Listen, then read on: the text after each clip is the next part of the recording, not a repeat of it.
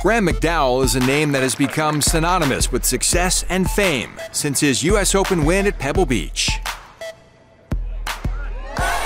Add to that Ryder Cup success in Wales and a dramatic playoff win against Tiger Woods at the Chevron World Challenge to cap off an amazing 2010 season.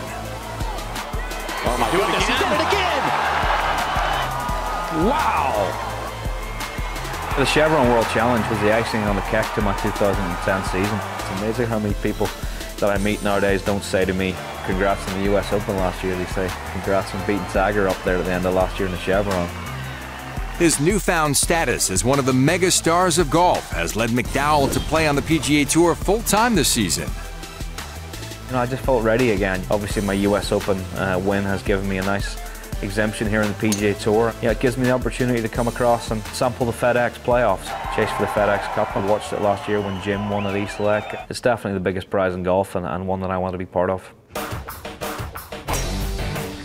Ranked seventh in the world, McDowell has three top tens and nine starts on tour this year and is looking for his first victory of 2011.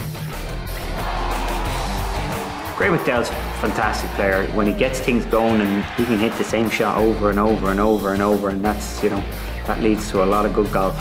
You can expect to see a lot of Gray McDowell.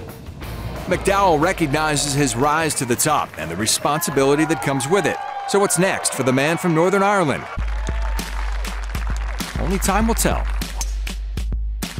2010 changed me from the point of view that you know people know who I am now, and of course there's a lot more pressure in my life right now. New obstacles, new hurdles, new new things to deal with. A couple of years from now, this will all feel normal. Thankfully, I'm I'm maintaining my golf game. I'm continuing to play some decent golf, and I'm excited about the future, especially my 2011 schedule and, and what lies beyond.